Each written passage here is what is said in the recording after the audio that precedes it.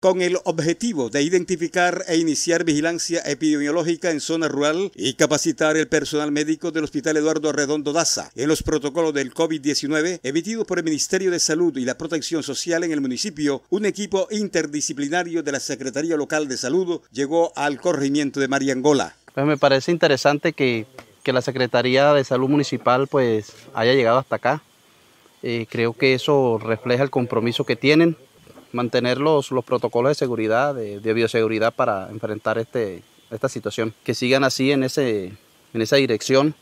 llegando a las comunidades más apartadas del municipio de Ayupar, entre las acciones, un médico y un epidemiólogo realizaron tamizaje y control a los habitantes de la vereda Montecristo para identificar posibles contagios del COVID-19 en esa zona. Buscamos la manera de disminuir la cadena de contagio y que la enfermedad no llegue hasta la zona corregimental.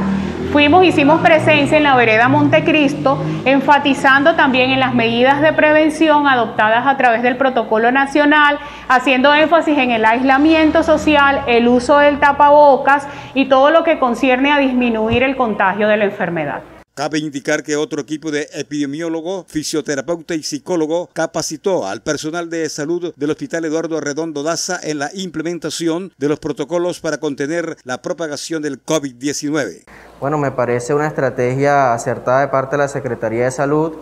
ya que no es una parte olvidada los corregimientos pertenecientes a Valledupar, somos también una parte activa